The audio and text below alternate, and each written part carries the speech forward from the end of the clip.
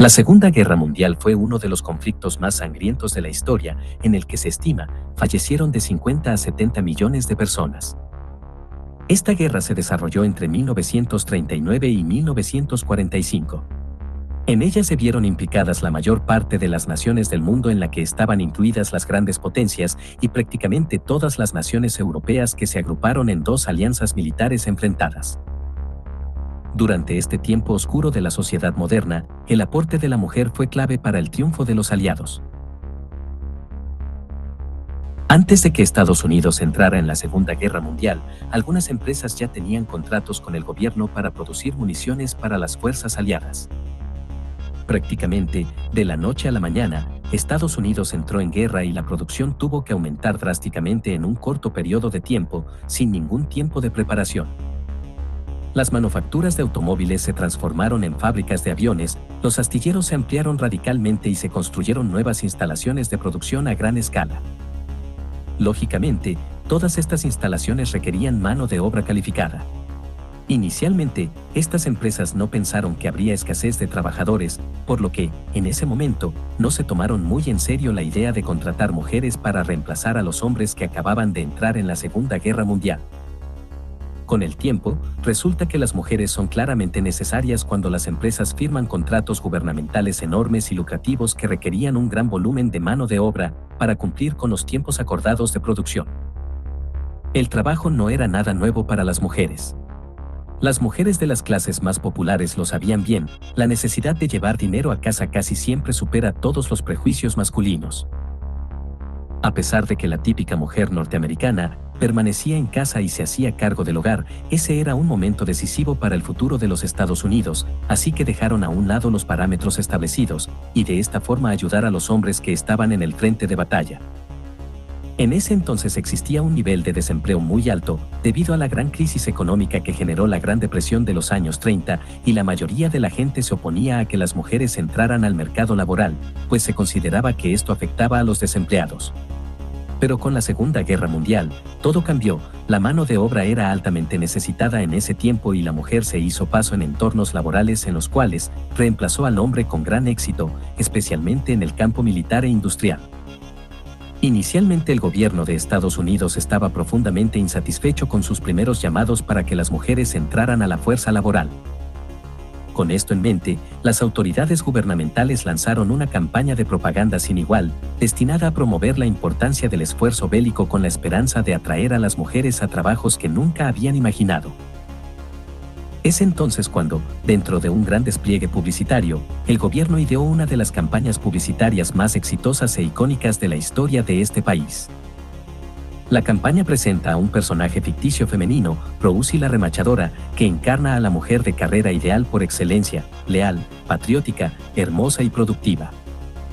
El 29 de mayo de 1943, la ilustración de portada de la revista Saturday Evening Post, ilustrada por Norman Rockwell, fue el primer dibujo de Rousy la remachadora, que fue ampliamente publicitado y divulgado por los medios de comunicación de la época. De ahí fue solo cuestión de tiempo para que se diseminara la imagen de la mujer trabajadora y lista para ayudar a su país. La respuesta fue enorme, las mujeres norteamericanas responden en forma masiva a trabajar, sin importar edad, clase social, estado civil o número de hijos. Aún así, la mayoría de las mujeres que entraron en esta nueva etapa laboral fueron en su mayoría de clase media y baja del país, que reemplazaron las vacantes dejadas por los hombres en el frente de guerra y llenaron las nuevas posiciones creadas a raíz del conflicto. Obviamente, con un salario aumentado y con mejores garantías laborales. El hecho es que a medida que crecía la demanda de mujeres trabajadoras, las empresas se vieron obligadas a contratar chicas recién salidas de la escuela secundaria, porque básicamente no tenían las cargas familiares ni las obligaciones sociales de las mujeres con más edad y experiencia. Pero las necesidades laborales eran tan altas que incluso las mujeres casadas y con hijos se postularon para trabajar. Esto trajo otros inconvenientes pues muchos de los esposos estaban en contra de que sus mujeres trabajaran y además se animó a las mujeres con hijos menores de 14 años a quedarse en casa y cuidar de sus familias. Las autoridades estaban preocupadas por el aumento de la delincuencia juvenil. Aún así, la demanda en el mercado laboral creció enormemente, por lo que incluso las mujeres con niños menores de 6 años tuvieron que postularse.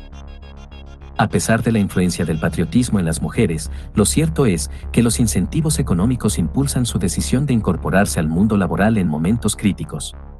Una vez en la fuerza laboral, las mujeres descubren los beneficios intangibles del trabajo, como aprender nuevas habilidades, contribuir a la sociedad y probar sus habilidades en trabajos que se consideraban masculinos hasta antes de la Segunda Guerra Mundial. Cuando Estados Unidos entró en la Segunda Guerra Mundial, 12 millones de mujeres trabajaban, que es una cuarta parte de la fuerza laboral. Después de la guerra, este número llegó a aumentar a 18 millones que representó un tercio de la población laboralmente activa en el país. Aunque 3 millones de mujeres trabajaban en fábricas al final de la Segunda Guerra Mundial, la mayoría de las mujeres que trabajaron durante la guerra estaban en trabajos tradicionalmente asociados con mujeres en la industria de servicios. Los puestos de oficina típicamente ocupados por mujeres, como las secretarias, lograron mantener su número y reclutar nuevas empleadas.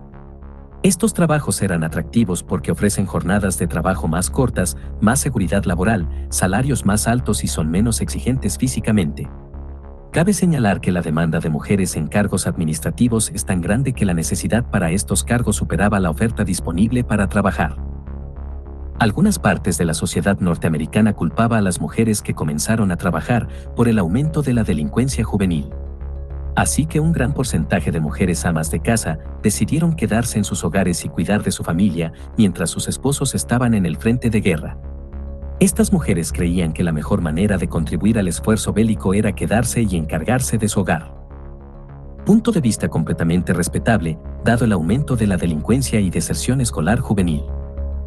Las mujeres trabajadoras fueron bombardeadas comprando bonos de guerra para ayudar a sus maridos en el frente. Después de la Segunda Guerra Mundial, las ganancias se utilizaron para comprar viviendas y servicios que no estaban disponibles antes o durante la guerra.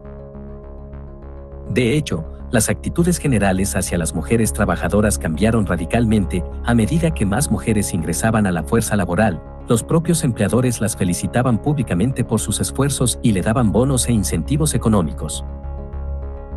La sociedad estaba dispuesta a aceptar cambios temporales por grandes razones, como en este caso de la Segunda Guerra Mundial, pero para sectores de la sociedad norteamericana los ven como dañinos e indeseables a largo plazo. Terminada la guerra, estos sectores les recuerdan a las mujeres que su cualidad más importante es la capacidad de cuidar de una familia, olvidando el gran desempeño y capacidad de la mano de obra de la mujer durante la guerra, la cual no se habría ganado sin el esfuerzo de la mano de obra femenina.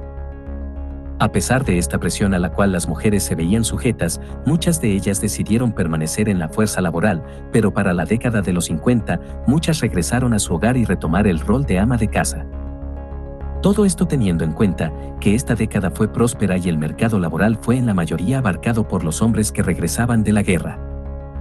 Sin embargo, los caminos que las mujeres recorrieron en el ámbito laboral durante la Segunda Guerra Mundial no pasaron desapercibidos, sino que sentaron las bases para cambios sociales sin precedentes. Muchas hijas y nietas de esta generación continuaron luchando por la igualdad. El papel de la mujer fue fundamental en la guerra, su esfuerzo y dedicación hicieron posible que los Estados Unidos se convirtiera en la potencia que es actualmente. La Segunda Guerra Mundial permitió que las mujeres se incorporaran a las Fuerzas Armadas. Además de ser enfermeras, trabajaron en comunicaciones y en el ensamblaje de las máquinas militares. Las Fuerzas Armadas de Estados Unidos durante su proceso de modernización crearon varios cuerpos femeninos de acuerdo a las necesidades, aunque seguía existiendo diferencias salariales y de beneficios en cuanto a los hombres. Se contabilizaron alrededor de 350.000 mujeres que sirvieron en la Segunda Guerra Mundial, 16 murieron en acción. Las mujeres son la personificación de la entrega, la fuerza, la inteligencia y la responsabilidad, lo que se refleja en su capacidad para superar las adversidades que les ha impuesto la sociedad. Es claro que su esfuerzo y tenacidad durante estos tiempos difíciles generaron la admiración y respeto del mundo entero, con la certeza de que la sociedad moderna no hubiese llegado a ser lo que es hoy en día si no hubiera contado con el inigualable aporte femenino.